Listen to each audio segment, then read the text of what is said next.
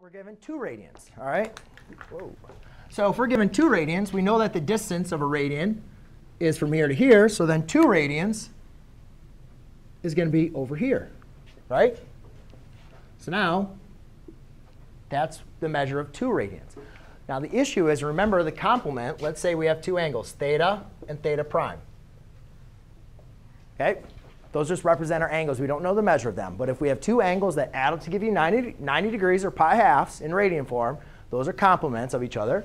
If we have two angles that add up to 180 or pi, those are supplements of each other. Now, if I measure two angles, these two angles, they add, um, if I know that one angle is two radians, right? Two radians, that's already greater than 90 degrees, right? Or greater than pi halves. So therefore, it does not have a complement.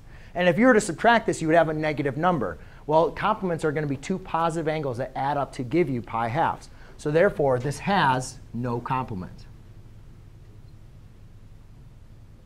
Because, again, the angle is already greater than pi halves.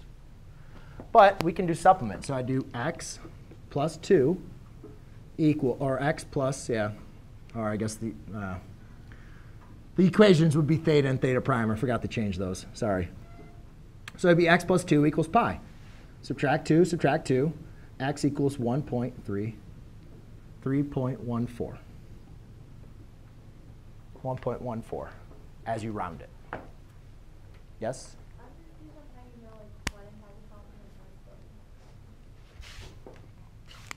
Let's solve this. Let's forget it. Forget I explained it doesn't have a complement. Let's solve. Minus 2 minus 2.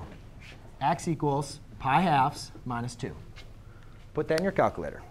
Okay? So if you do pi divided by 2 minus 2, you get negative 0.43. That's a negative angle, right? That's a negative angle. The definition of complement says what two positive angles add up to give you 90 degrees. So if I were to give you an angle that's greater than 90 degrees, you have to add a negative angle to it, which is not going to be part of the definition of complement. Yes? So if it's greater than, two, greater than 1, it doesn't have Right. Same thing. If I said find the supplement of um, 300 degrees, can you find the supplement of 300 degrees? No, it's already greater than 180 degrees, right?